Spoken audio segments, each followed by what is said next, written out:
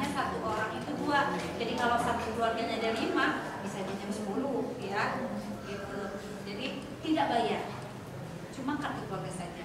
Nah sekarang kan ada perpustakaan desa ya luar biasa perpustakaan desanya saya lihat dari foto kemarin Pak waktu lagi beres-beres saya ke sana tapi pas udah jadinya wah mudah-mudahan terus begitu tidak hanya penilaian saja udah penilaian dicabut tangan jangan sampai apa ya pokoknya harus lebih lebih lebih seperti itu dan eh, ibu-ibu PKK nanti ada sila kegiatan silamayan.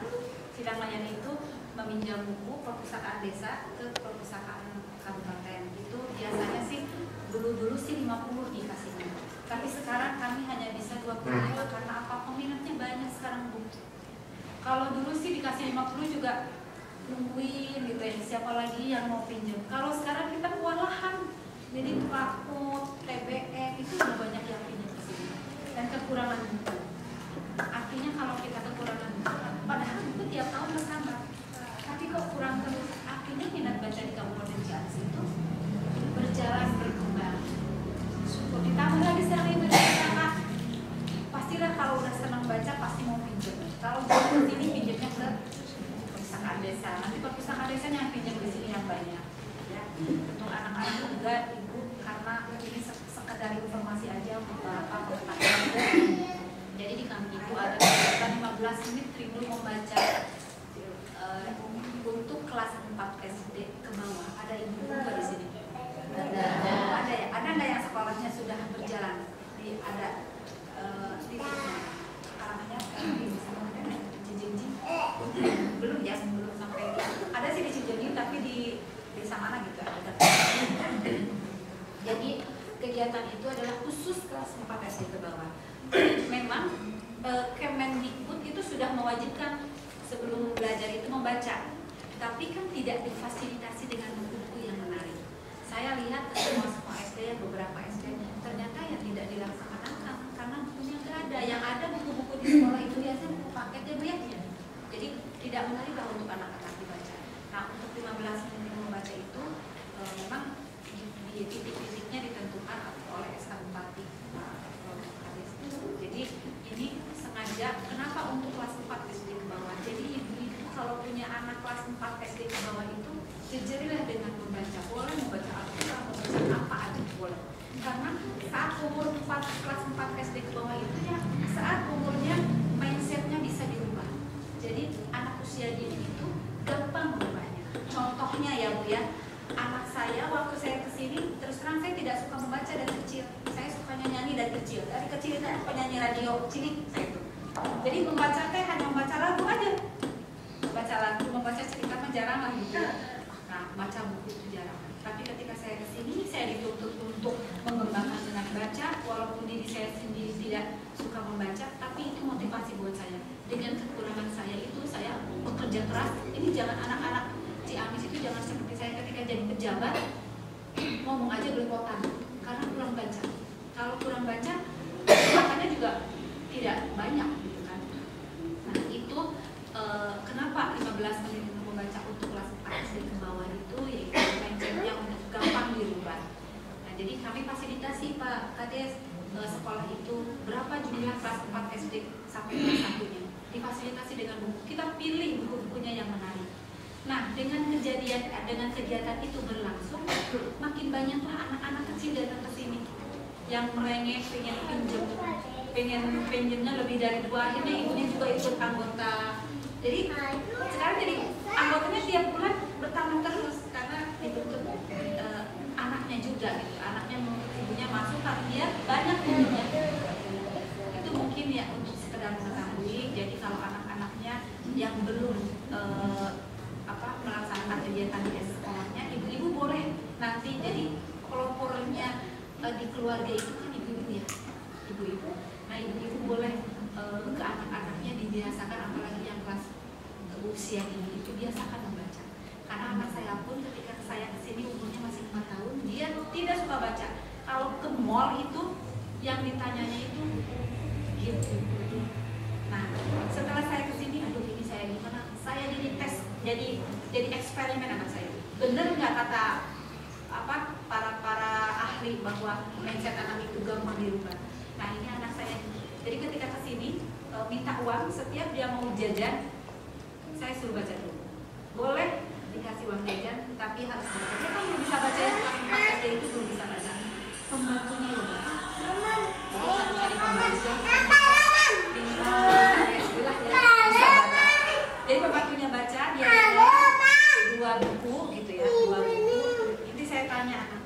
Anaknya. Jadi tadi udah baca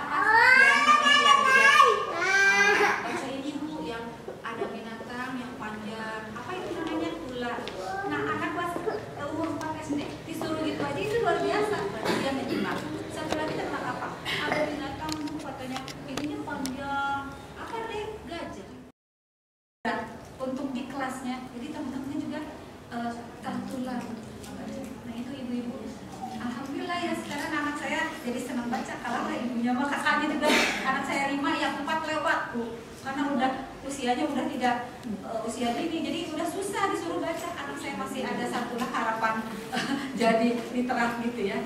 Eh, itu saja yang akan saya sampaikan. Nanti ibu saya berharap jauh-jauh dari Karanganyar ya bu ya Eh, tapi ke sini tidak ada hasilnya. Artinya ibu setelah dari sini ibu satu e, biasakan ke anak kalau punya anak kecil untuk membaca. Kemudian apa yang dibaca kalau ibu-ibu itu harus diimplementasikan misalnya membaca tentang membuat contoh.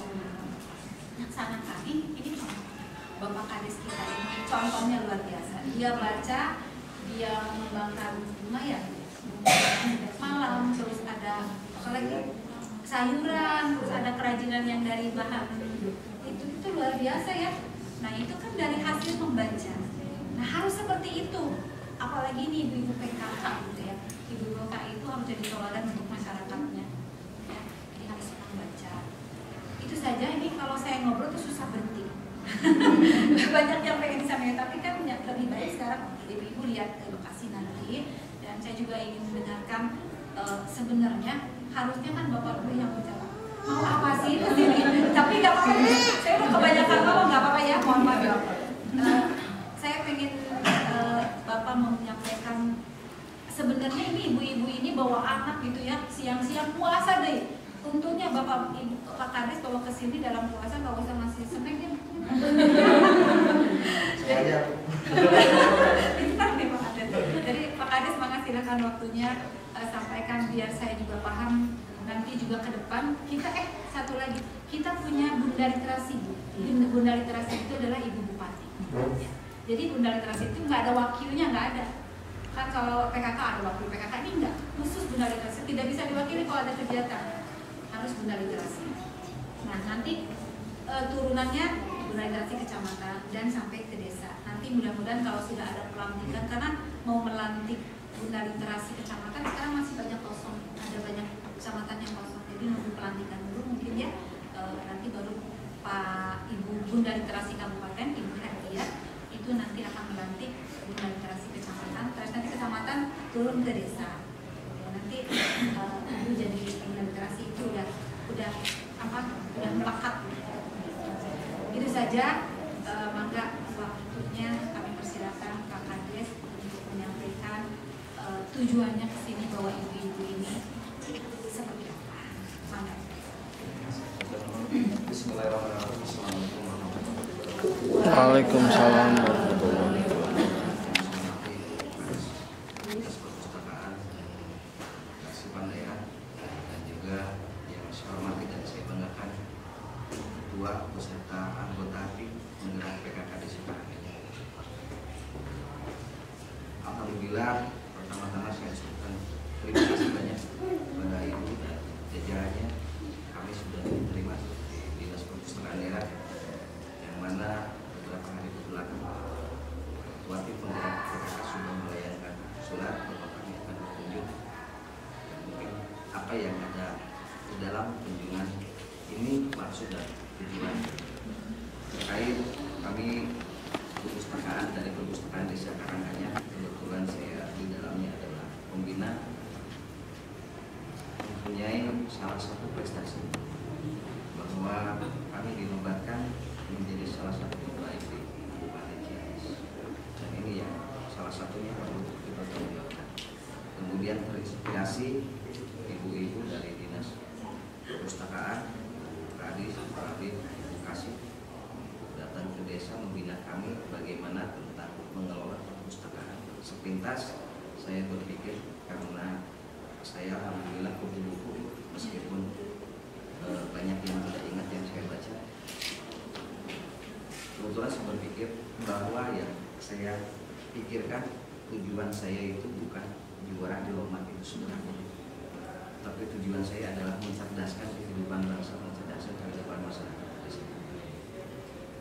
salah satu bukti kami sudah membuka PKBM itu di aula alhamdulillah 50 orang ini situ 50 orang lebih itu salah satu upaya bahwa di desa Karanganyar itu lebih dari 30 persen lulusannya SD sederajat ketika mengikuti era milenial sekarang SDM menengah ke bawah itu tidak akan mampu bersaing. Sementara kami dengan rekan-rekan perangkat desa serta lembaga desa semangat untuk mencerdaskan kehidupan bangsa dan sejahterakan masyarakat dan meningkatkan perekonomian masyarakat meskipun kita berada di pinggir ataupun di desa. Salah satu tujuan kami datang ke sini itu adalah memunculkan minat baca karena program kami dimulai dari diri sendiri. Ketika saya berpikir dalam perpustakaan saya harus gemar membaca. Kemudian ketua tim penggerak PK juga begitu. Dan yang datang ke sini alhamdulillah dari antara ketua tim eh, penggerak PKK dan pengurus beserta anggota. Di sini terdapat guru-guru ada guru TK kami punya dua TK di Sekarangannya kemudian guru Robert Pamun eh, Taam teman asuh anak muslim ada tiga Robert kemudian guru-guru madrasah dunia kita punya enam madrasah dunia ya.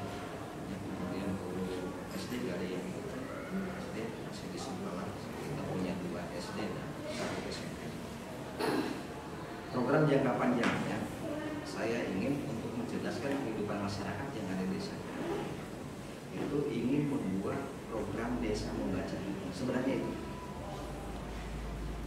tapi yang namanya program itu harus melalui proses buat tim penggerak PKK ini maksudnya ini baru saya kasih tahu sekarang sama ibu juga karena ibu tadi bertanya program saya arahnya ke mana? Ini rencananya adalah duta baca barangnya gitu.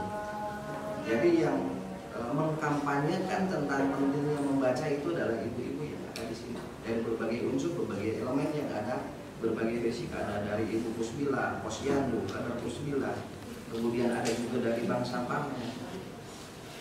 Hampir semua elemen di Karanganyar yang aktif ibu-ibunya ada di sini. Yang satu tadi ibu bilang betul kesetaraan gender. Sekarang wanita tidak boleh lemah, sekarang wanita harus kuat dan harus punya andil dalam pembangunan. Saya sudah menjanjikan ketika ibu-ibu ketua tim penggerak PKK mencatatkan diri, ingin mencatatkan dirinya dalam kemajuan di Karanganyar, silakan ikuti program di Karanganyar. Salah satunya ibu-ibu ini adalah salah satu pemanfaat dari perpustakaan desa yang ada di desa Karanganyar. Maka ketika kamu mendapatkan juara terbaik di tingkat kabupaten, maka mirip mereka lah penghargaan itu. Saya hanya memfasilitasi. Itu mungkin ibu yang uh, saya maksudkan kami datang ke sini. Ini untuk mengawali saja. Ke depannya saya yakin apa yang ada di sini sangat menarik bagi kita pelajari. Kebetulan tadi saya dampingi juga ibu-ibu masuk ke ruang baca sudah banyak tinggal yang punya mungkin nikmatinya tadi sudah ada sekolah Insya Allah ini salah satu awal namun yang saya harapkan meskipun ibu-ibu nanti bisa saja menjadi anggota perpustakaan di sini namun yang saya harapkan adalah sinergitas terjadi sinergitas antara perpustakaan desa dan perpustakaan daerah. Maka yang ibu bilang tadi silang layang itu salah satu tujuan itu silakan di sini baca-baca buka-buka apa yang eh, ingin dibaca atau ingin dipinjam. Nanti dicatat di desa gitu adukan layang jadi terjadi sinergitas dan perpustakaan ini berjalan. Kemudian perpustakaan yang ada itu tidak akan kami bongkar bu. Justru itu akan kami tambah sedang dipikirkan apa lagi itu untuk ditambah. Soalnya saya juga kaget ketika masyarakat pun tahu datang ke sana itu ketika lihat-lihat alhamdulillah banyak yang selfie juga meskipun apa. Adanya nah jadi ini jadi daya tarik tersendiri. Mudah-mudahan ke depannya saya bisa punya konsep lagi untuk membukanya lebih baik. Itu intinya bu. Eh, saya tularkan hobi saya membaca saya itu dari mulai SD SMP saya membaca kalau dulu itu ada komik kan semacam itu saya membaca tentang Ho uh, Yeti yang dari sejak saya SMP sudah ada. Kemudian mesinnya mulai bergerak eh, membaca saya di 2004 saya sering sejarahnya saya jadi kepala desa itu dulunya sering pinjam buku bapak-bapak kepala desa. Pernah Pak Nana Sutara Pak sok macam buku naon kayak namun kan itu tapi terus tidak dibaca baca. Kemudian Pak eh, dulu itu sering bukunya saya baca. Dan saya punya buku yang tidak akan dikasihkan ke siapa pun. Sementara mungkin sebelum saya selesai karena ini ada buku yang saya beli tahun 1998 harganya 200 ribu saya beli di kota Banjar. Ini tentang komunikasi organisasi. Untuk manajer tingkat menengah dan untuk eh, organisasi bagaimana cara memimpin organisasi. Itulah dasar yang saya pakai di Karanganyar. Alhamdulillah di Karanganyar orang lain nggak ada yang punya buku seperti itu dan kalau buku itu ibu-ibu baca mungkin tahu di mana saya memberdayakan pemerintah desa Karanganyar sehingga sekarang terjadi sebuah kebersamaan yang solid. Salah satunya saya sebagai pemimpin tidak berada di atas dan memberi perintah tapi saya senantiasa berada di samping dan bekerja sama. Dari mana itu? Itu dari hasil membaca. Dan saya senantiasa membaca ketika saya membaca buku-buku kepala desa tentang ini ternyata saya dipercaya ditakdirkan oleh Allah Subhanahu wa taala menjadi kepala desa di desa Karanganyar. Dan jabatan saya cuma tiga tahun ke depan saya 2016 sampai 2022 infrastruktur hampir beres ke depan pemberdayaan. Jadi alhamdulillah saya buka-buka di PMNS itu tahun 2016 kalau tidak salah bisa dana desa disalurkan untuk pembangunan gedung perpustakaan kalau kita tidak dibantu dari pemerintah melalui bantuan keuangan atau insya Allah saya memikirkan dan akan merundingkan dengan BPD dan juga para tokoh masyarakat. Gimana caranya supaya kita bisa membangun gedung perpustakaan desa. Tapi syaratnya ini semangat ibu-ibunya membacanya harus kelihatan supaya saya punya alasan yang benar terhadap masyarakat. Dengan minat baca yang sedemikian besar apakah akan dibiarkan begitu saja? Itu intinya uh, kita sering bicara untuk meminta izin kepada BPD di desa Karanganyar itu sangat banyak infrastruktur sekitar 20 km sehingga pemberdayaan lumayan terbengkalai namun di tahun 2020 insya Allah saya diberi pemberdayaan baik untuk meningkatkan sumber daya manusia ataupun meningkatkan perekonomian masyarakat melalui usaha kecil dan menengah yang ada. Yang salah satunya itu berasal dari literasi dari membaca. Bahwa ketika kita membaca dipraktekkan itu banyak kemungkinan dan nanti saya juga punya satu kebanggaan kalau ibu ke sana nanti bisa bisa diperlihatkan. Itu tentang membuat pakan ternak secara mandiri karya Ali Agus ketika dibuka dipraktekkan itu sekarang sudah ada yang bikin mesin sendiri. Cuma cara pembuatan mesinnya tidak ada kebetulan dibuka di YouTube di YouTube nanti bahasanya bahasa Thailand tempat ngerti jadi ningali tina gambar pada jena sok beker carry hiji gagal gitu. Banyak pengorbanan tapi harus bahan bakunya apa? Bahan bakunya keong emas. Anu dipikir ke ku petani keong emas adalah sama. Itu bisa dimanfaatkan jadi bahan baku pakan ternak. Buktina itu di dusun Bandar anu tadinya ternaknya kalah kusiage itu cuma punya 6 ekor sekarang jadi 40 ekor. Ayam kampung. Nah sekarang sedang berpikir lagi dengan saya setiap malam Jumat itu ruang ilmu kalau malam minggu sama kelompok tani tentang sayuran. Kalau malam Jumat tentang pakan itu peternakan. Sekarang sedang membuat inovasi bahwa biasanya kan digoyang secara manual. Itu rencana mesin pompa air. Mesin pompa air untuk tenaga banyak hal yang kita sukai ketika kita benar-benar suka membaca. Banyak hal yang eh, kita pelajari di dalamnya ketika kita praktekkan dan kita semakin haus akan belajar. Itu yang saya rasakan ketika saya membaca, eh, kemudian ada yang dipahami, kemudian terjadilah sebuah literasi, saya semakin haus untuk lebih banyak buku yang saya baca untuk diterapkan dalam kehidupan sehari-hari. Itu saja yang saya sampaikan. Terima kasih Bu atas perimaannya dan mohon maaf kami ini dari kampung eh, sikap tingkah laku begini adanya Bu, tapi saya memang suka yang apa adanya tidak dibuat-buat supaya terjadi natural dan saja. Terima kasih. Assalamualaikum warahmatullahi wabarakatuh.